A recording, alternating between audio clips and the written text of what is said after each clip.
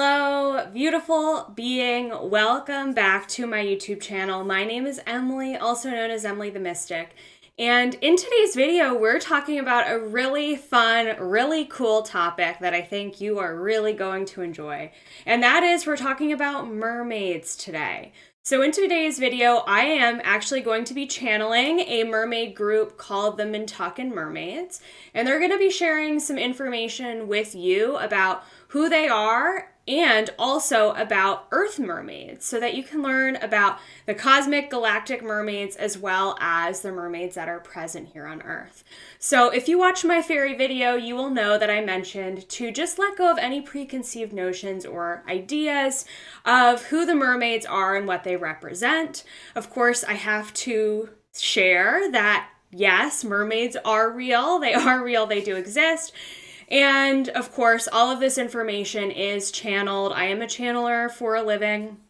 And so, what I wanted to do for this video was to set the intention to call in the Mintakan mermaids to bring them through to ask them some questions and to see what they had to say so that I could share that information from my perspective as a channeler versus, of course, just spitting out, you know, information that exists out there on the internet. So this is coming from me as a channeler. So take what resonates with you, leave what doesn't. Maybe the information is here and here is similar to what you've learned before, and maybe it's totally different. So, of course, it's all just inf- interesting information and take on what is your truth and leave what isn't.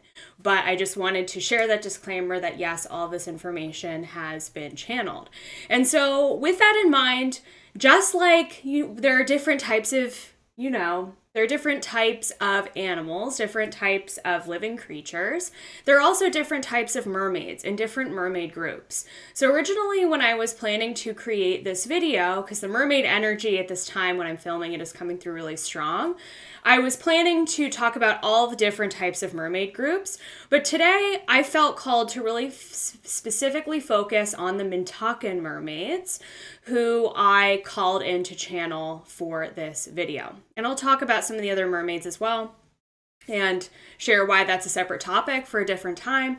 But again, I was specifically connecting with the Mintakan mermaids. So before we get into it, just to share a little bit of background about who the Mintakans are. So, the Mintakans are one of the oldest originating star groups here on Earth.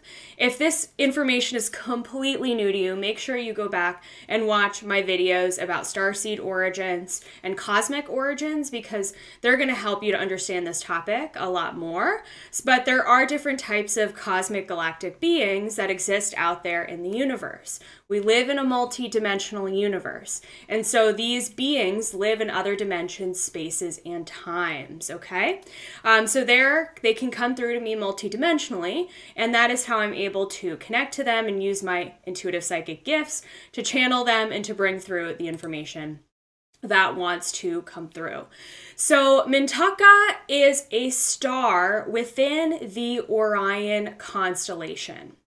And like I said, it is one of the oldest star systems, and therefore it is one of the oldest incarnating groups here on Earth. And so I'm going to share their perspective of why the Mintakans chose to start incarnating here, how they describe themselves so you can get to know them better, and how they describe their planet.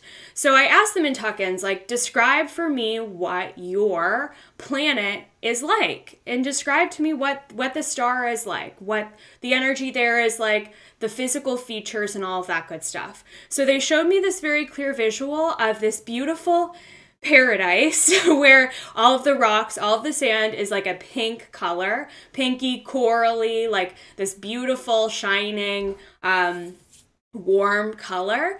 And the ocean is sparkling. It is like the water is very clear, it is very translucent, you can see through it, um, and there are different kind of shades of soft blues and turquoises, but the water in general is very clear, um, and that's the best way that I can describe it.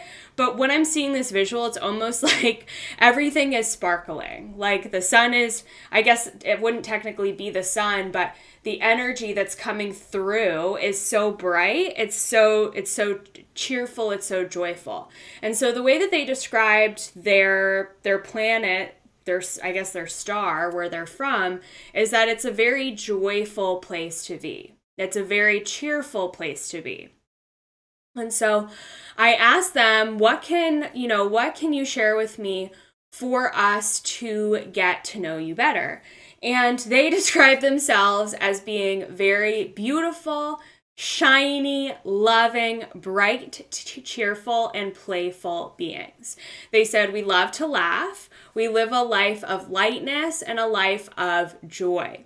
So, the, and again, these are mermaid beings. So, for my understanding, and yes, they're confirming this for me now as well, that the, the beings who existed in Mintaka were all mermaid beings. And they had the ability, or have, I should say, or still exist, they have the ability to both swim as well as to move around in these sandy sort of rock formations that I'm seeing in my mind's eye. So not only are they able to swim through the water, but they're also able to breathe. And maybe that's not oxygen, maybe that's another type of gas, but they're also able to breathe and be out of the water as well, which is really interesting. Um, but they carry this frequency that's very different than humans. So they carry this frequency of lightness, of joy, of childlike innocence. Um, I don't want to say naivety. That's not the right word. It's it's this light type of energy. And so I asked them why they chose to come to Earth, and they said that they chose to come here to originally incarnate as souls on this planet to bring lightness to the planet because Earth is a very densely energetic place. The density here is heavy, it's intense. Um, and they decided to come here to play a special role in bringing light, love, and joy to such, such a dark place and to assist the collective, to assist humanity in our vibrational raise rising and uh, and um this uplift in consciousness that we are going through as a planet, especially during these times. So they started incarnating way back when Earth, you know, the Earth, the project planet, if you want to call it, started to be colonized by all of these different groups in order to begin this process of of the Earth of the Earth Project, basically.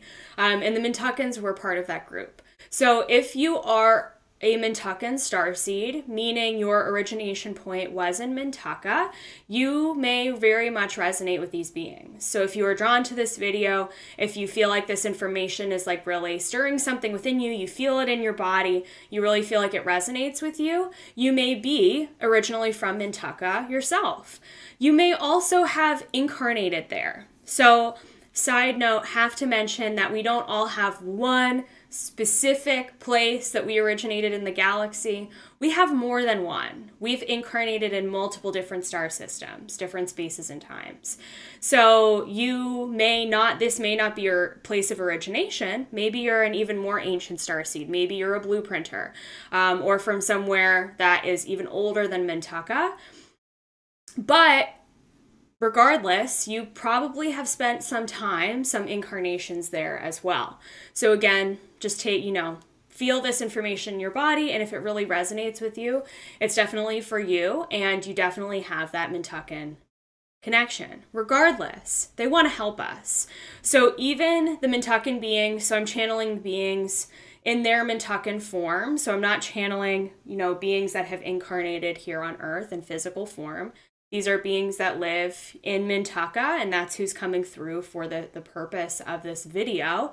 They want to assist us as being guides, um, especially with uplifting, raising our vibrations, raising our energy frequency, and encouraging us to live a more joyful, more light filled life. They really want us to follow the lightness and to follow what lights us up to follow what brings us joy and to follow what our what brings our soul joy. Because as we do that our vibration increases and we increase the vibration of humanity as a whole which is so cool Okay, so, and I asked them the question, are you assisting humans as guides? And they said, most, yes, they are, but most specifically, they are assisting humans who have Mintakan origination, Mintakan origination or incarnation history. And they were like, you, Emily, have Mintakan incarnation history. So this information really, really resonates with me.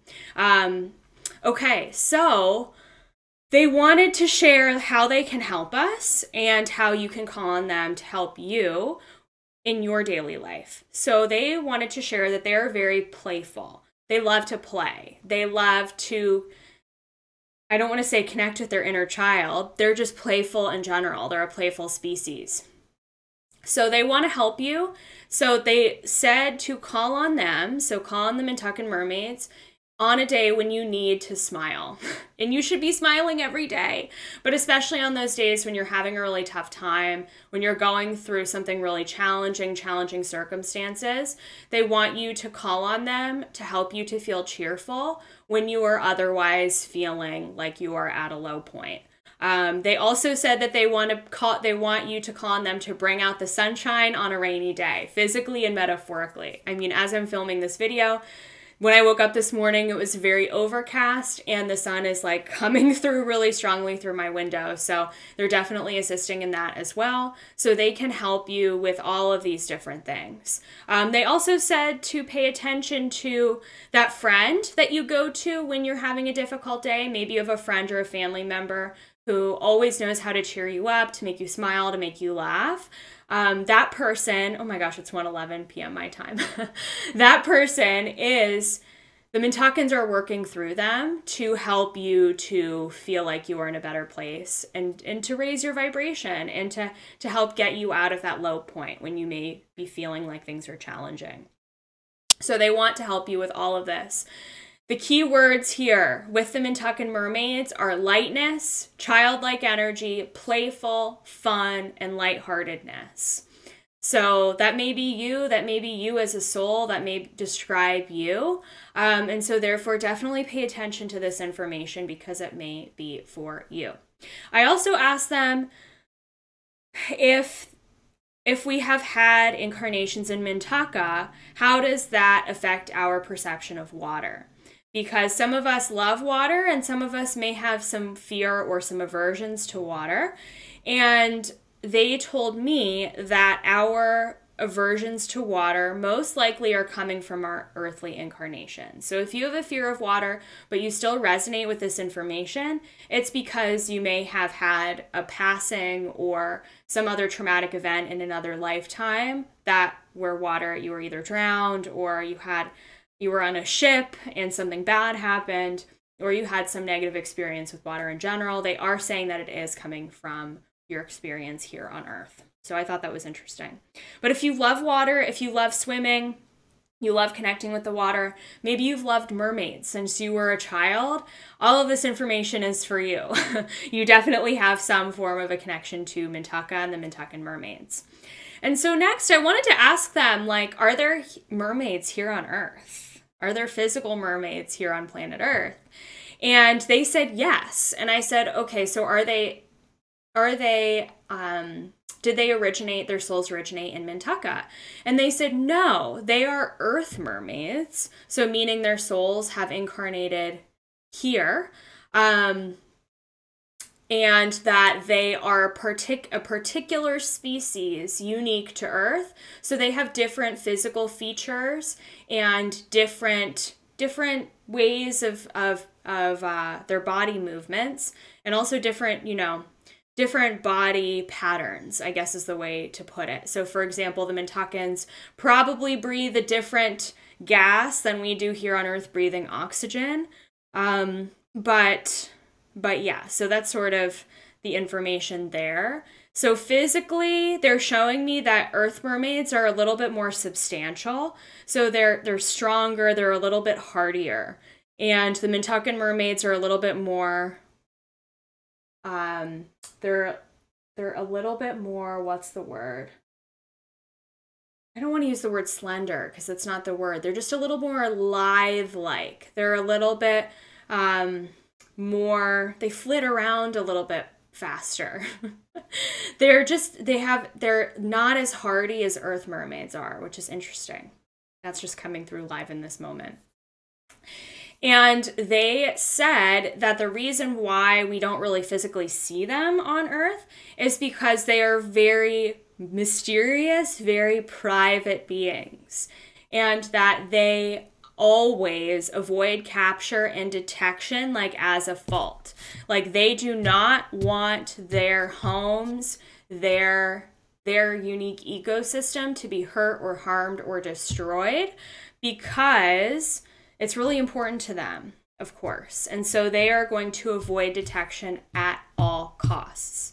Um, they said that they live in areas of water, bodies of water, that are un- otherwise uninhabited. So that may be oceans or bodies of water that, or bodies of water on an island or off of an isle that are not really frequented by humans. So they really inhabit very private places um, private bodies of water where no one else is really living, which is really interesting.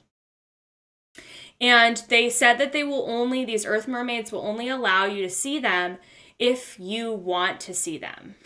I mean, if they want you to see them. And they said, which is somewhat unlikely. Um, I'm the uh, the uh, relationship between the Mintakan mermaids and the Earth mermaids is interesting it's it's sort of like it's just kind of like okay we're different. We're different species we're different beings which i which is what kind of wild. Um, and that earth mermaids really really like shiny things. So i asked them i said like a common myth is that mermaids like shiny objects and necklaces. And so they may be attracted to you if you're in the water and have are wearing a shiny thing. And they said yes that is true that especially will happen to some of the younger mermaids who haven't really been trained by the rest of the tribe or the group to know what to do when that happens. They said they also like long hair. So so if they if you're in a body of water where mermaids exist, they see your long hair, your shiny jewelry, they may be attracted to you. Um, and they may you may catch a glimpse of them physically in person but likely that mermaid who is attracted to your long hair and your shiny jewelry, it is very likely that they are an adolescent, a younger childlike mermaid that hasn't really been trained to stay away from human beings. So that's kind of interesting. Um, I also asked them some of the common myths are that sailors will be tricked by sirens and by mermaids. Um, and I asked them about that, and they said that that is true and that they do this, they trick sailors to keep them out of the waters where they live. So if they feel like their territory is being infringed upon by some sailing group or especially back in history, they will they will do the siren thing to distract them and use their, you know, their magical powers and their magical energy to direct those sailors away from their territory, their body of water. Again, they're very private beings. So, very interesting, um, but very cool also. So, that is my overview of the Mintakan mermaids. Again, remember they're very cheerful, playful beings. They want to work with you in not just they don't want to work with you they want to encourage you to have fun to play more to follow what lights you up and to embody that childlike joy. So call them in to assist you with that. And finally, I will say that there are other mermaid groups. So, for example, there are also mermaids from the star system and the, from the specific star Sirius B, so from the Sirius star system. But that's not who I was talking about during this video. This video is only about the Mintakan mermaids. And in a future video, I will bring through the Sirius mermaids and we'll see, see what they have to say. But I hope you enjoyed this video. Make sure you give this video a thumbs up and subscribe to my YouTube channel for more fun content just like this. And let me know in the comments below if this video resonated with you, if you feel like you have a special connection to the Mintakan mermaids or to mermaids in general. I would love to know. So let me know in the comments below and I'll see you in the next video.